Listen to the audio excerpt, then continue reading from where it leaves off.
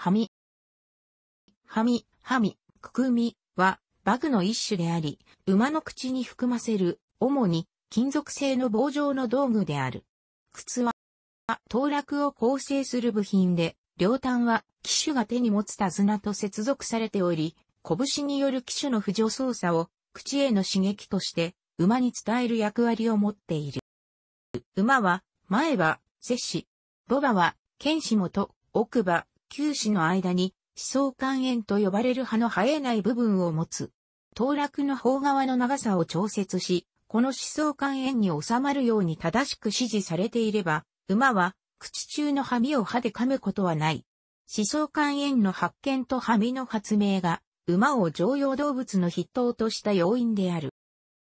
人間と馬の長い歴史にあって、人間が馬を思いのままに制御しようと試みた中で、ハミは最大の発明であると言われる。おそらくハミが発明されるまでは、縄を馬の首や頭部に巻きつけただけであったと考えられ、機種の細かい制御の意思を的確に伝えることが困難であったと思われる。馬の家畜化年代には議論があるが、ハミの利用は馬の家畜化年代を推定する指標として用いられている。カザフスタンのボッタイ遺跡から出土した紀元前3500年頃の馬氏には、ハミコンが残り、この頃にはバグを用いた馬の家畜化が行われていたと考えられている。なお、馬の家畜化自体はこれを遡る、紀元前4500年頃とする説もある。当初穴は骨、角、または硬い木で作られていたが、紀元前1300年から1200年の間に、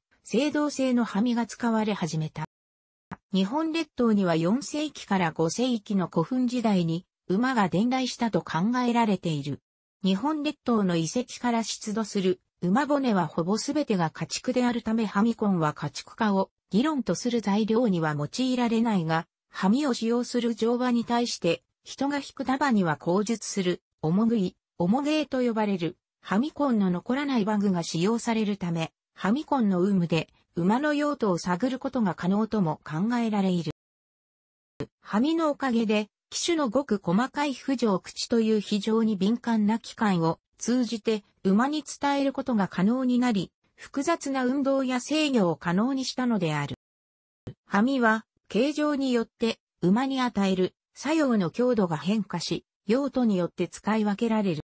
水力くくみ、水力はみ、エーストナファルビットは、手綱を経由する、拳の扶助の作用に、くくみ枝を通じた、テコの作用が働かない、はみの総称である。くくみ感を持ち、そこに、手綱が付けられる。手綱を引くと、くく耳が馬の下と思想に圧力を加えるとともに、くく耳の端とくくみ感を通じて広角に作用する。二つに分かれているくく耳、ジョイントくく耳が多く用いられ、手綱を強く引くと、ジョイント部が郊外に当たることがある。テコが働かないため作用は穏やかであり、初級から上級までの多様な乗馬や馬車等の刺激にも用いられる。水録の一部を構成する、小録くくみ、小録はみ、AA ブラダンビットは小型の水録くくみであり、第六で第六くくみと合わせて用いられる。大小六くくみを同時に口中に収める際、小六くくみは第六くくみの上側かつ広角側に位置させる。ほとんどはジョイントくくみみでルーズリングくくみ感を持つ。第六くくみ、第六はみ、A カーブビットは毛深くかかかけしぬわけぬ、テコの働くはみである。くくみ意味の両端には水力くくみのようなくくみ感ではなくくくみ枝を持ち、手綱は下くくみ枝、くくみ枝のくくみみより下側につけられる。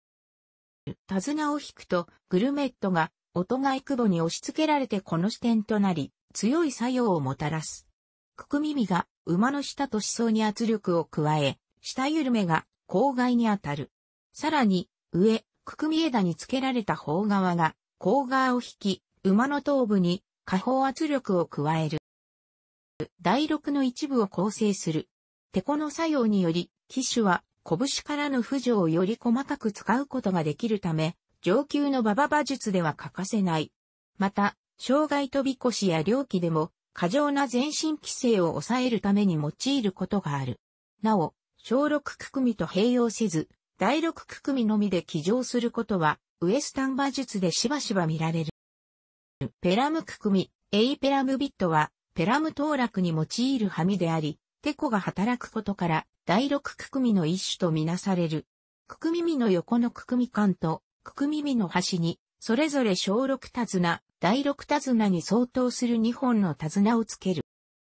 キンバーウィックくくみ、英、キンバウィックビットは、広義の大勒くくみの一種である。 Dリング状のくくみ環に、手綱をつける穴がいくつか開いており、その選択によりて、この作用の強弱が変化する。ペラムくくみよりも一般的ではなく、また、馬場馬術競技では使用できないが、くくみ枝が物に引っかかる、恐れなく大勒作用を使えることから、ポロ競技などで利用されることがある。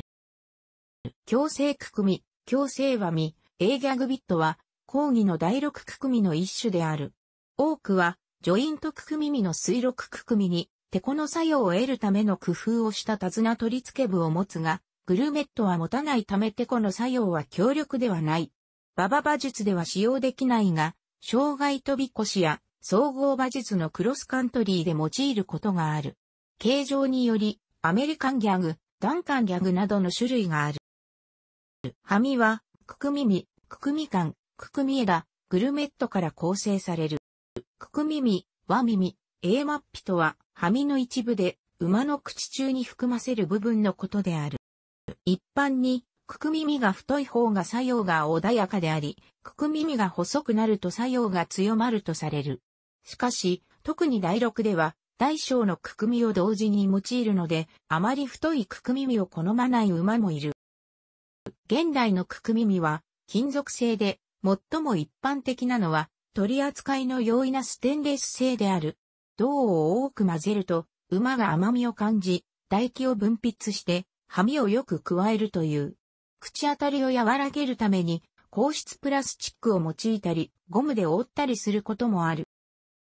ハミが発明された当初は棒状のものだったが、形状により馬への作用が異なるため、多くの種類のクク耳が工夫されてきた。ククミカンは、みかん、A ビット、リングとは、クク耳の端につける、手綱及び、方側取り付け用の缶のことである。主に水六ククミで見られる。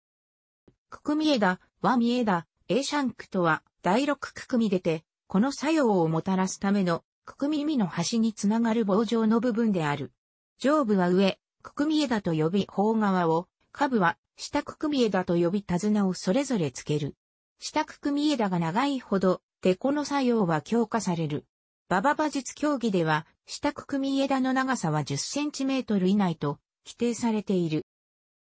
グルメット、エイ、カーブチェーンとは、第6くくみの上、くくみ枝を左右につなぐ、主に金属製の鎖である。靴輪鎖とも言う。第6手綱が引かれると、くく耳を中心に下くくみ枝は後方、馬の胸の方へ、上、くくみ枝は前方へ回転するが、これにより、グルメットは、馬の音が久保に押し付けられ、テコの視点の役割を果たす。グルメットの長さは、大勒手綱が引かれた場合に、すぐに、おとがいくぼを圧迫るほどは短くしない。リップストラップ、英リップストラップを用いて、グルメットを柔らかに固定し、大勒手綱を緩めても、不必要に大勒くくみが動かないようにする場合もある。はみ受けとは、馬が自らはみを噛んで騎手の指示に従うかどうかを表す言葉である。馬がはみを正しく噛むことをはみを受けるという。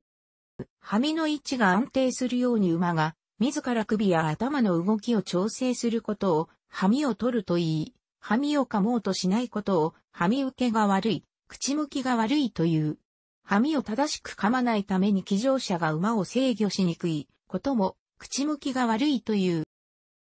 2006年の第85回外専門賞に出走した JRA 所属の競走馬ディープインパクトが3着、後に禁止薬物が検出されたため失格に敗れた際、竹豊騎手はその敗因として最後の直線もはみを取らず、いつもなら直線でもう一つのギアがあるのにそれが出せなかったと語っている。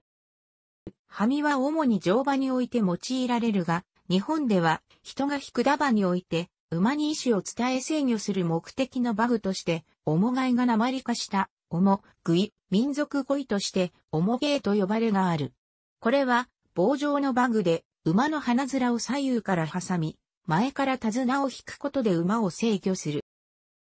重食いは、中世紀の遺跡からも、出土事例があり、大分県大分市の大友市遺跡からは16世紀の数の性の重食いとみられるバグが出土している。